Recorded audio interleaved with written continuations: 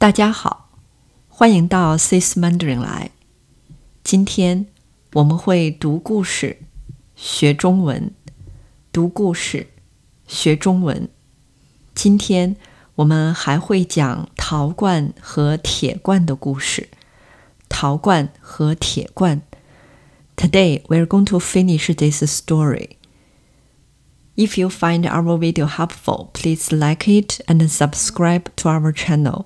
Be sure to click the notification bell. 好，那现在我们就开始吧。我会先说一下每一句话的意思，然后我们会复习生词，接着我会读一遍故事，没有拼音，最后我们回答几个问题。好，那现在我会说一下每一句话的意思。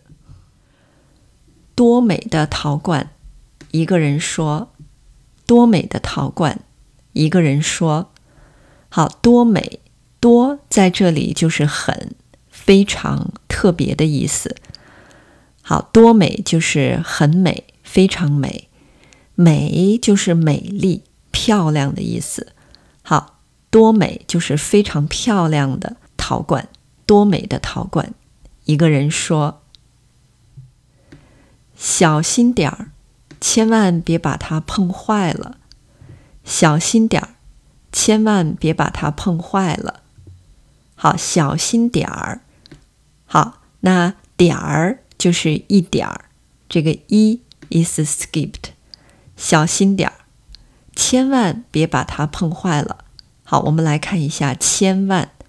我们来看一个例子，千万，千万。你骑车去，千万要小心。你骑车去，千万要小心。好，千万就是一定，你一定要小心。好，千万别把它碰坏了。千万别就是不要，千万不要把它碰坏了。坏就是不好了，不能用了。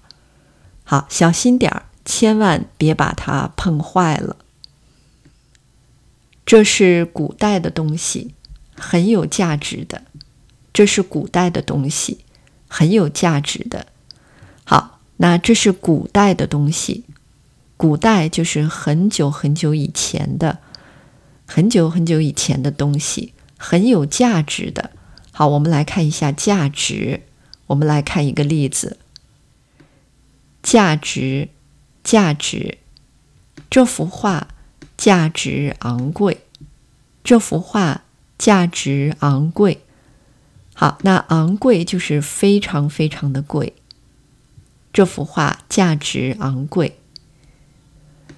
这是古代的东西，很有价值的。谢谢你们，陶罐兴奋地说：“谢谢你们。”陶罐兴奋地说：“好，兴奋，兴奋就是 excited，兴奋，因为他非常非常的高兴，别人发现了他。好，谢谢你们。”陶罐兴奋地说：“我的兄弟铁罐就在我旁边，我的兄弟铁罐就在我旁边。”请你们把它也挖出来吧，请你们把它也挖出来吧。好，因为人们把陶罐挖了出来，所以陶罐说：“请你们把它把铁罐也挖出来吧。”他一定闷得不行了，他一定闷得不行了。好，那我们来看一下闷，闷。在这里是无聊，没有意思。他一定闷得不行了，好就受不了了。人们立即动手，把土都挖遍了。人们立即动手，把土都挖遍了。好，那我们来看一下立即。我们来看一个例子：立即，立即。他收到邮件就立即回复了。他收到邮件就立即回复了。好，立即就是马上。人们立即动手，把土都挖遍了。好，立即动手就是马上动手，就是开始去做这件事情。好，把土都挖遍了。好，遍在这里就是所有的地方，把土都挖遍了。但是连铁罐的影子也没见到。但是连铁罐的影子也没见到，连铁罐的影子，好，这个就是影子，连铁罐的影子也没见到，就是没有找到铁罐的意思。好，但是连铁罐的影子也没见到，铁罐早已变成一堆锈土了，铁罐早已变成一堆锈土了。好，铁罐早已，早就是很久以前，已就是已经，早已变成一堆锈土了。好，锈，这个就是锈，因为这个是铁罐，铁容易生锈。好，铁罐早已变成一堆锈土了。这个故事告诉我们。这个故事告诉我们，就是陶罐和铁罐。这个故事告诉我们，我们用自己的优点去比人家的弱点是不应该的。我们用自己的优点去比人家的弱点是不应该的。好，我们用自己的优点，优点就是好的地方，去比人家的弱点，人家。就是别人，别人的弱点，弱点就是不好的地方，是不应该的。我们不应该这样做。我们用自己的优点去比人家的弱点是不应该的。人家也会有比你强的地方，人家也会有比你强的地方。好，人家就是别人，也会有比你强的地方。好，我们来看一下强。我们来看一个例子。强，强，他适应能力比较强，他适应能力比较强。好，强就是好的意思。人家也会有比你强的地方，就是人家也会有比你好的地方。好，那现在。我们来复习一下生词：千万、千万、千万别把它碰坏了，千万别把它碰坏了。价值、价值，这是古代的东西，很有价值的。这是古代的东西，很有价值的。立即、立即，人们立即动手。人们立即动手。强，强，人家也会有比你强的地方，人家也会有比你强的地方。好，那现在我来读一下，没有拼音。多美的陶罐！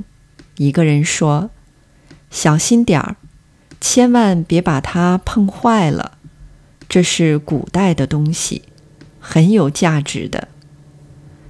谢谢你们，陶罐兴奋地说：“我的兄弟铁罐就在我旁边，请你们把它也挖出来吧，他一定闷得不行了。”人们立即动手，把土都挖遍了，但是连铁罐的影子也没见到。铁罐早已变成一堆锈土了。这个故事告诉我们：我们用自己的优点去比人家的弱点是不应该的。人家也会有比你强的地方。那我们现在来回答几个问题。好，第一个问题，为什么人们说千万别把陶罐碰坏了？为什么人们说千万别把陶罐碰坏了？对了，因为陶罐是古代的东西，很有价值。因为陶罐是古代的东西，很有价值。好，第二个问题，为什么人们没有找到铁罐？为什么人们没有找到铁罐？对了，因为铁罐早已变成一堆锈土了。因为铁罐早已变成一堆锈土了。好，第三个问题，这个故事告诉我们什么道理？这个故事告诉我们什么道理？对了，我们不应该用自己的优点去比人家的弱点，人家也会有比你强的地方。我们不应该用自己的优点。去比人家的弱点，人家也会有比你强的地方。好，那我们今天就到这里，希望你喜欢这个故事。If you find our video helpful, please like it and subscribe to our channel. Be sure to click the notification bell. 好，那我们下次见，再见。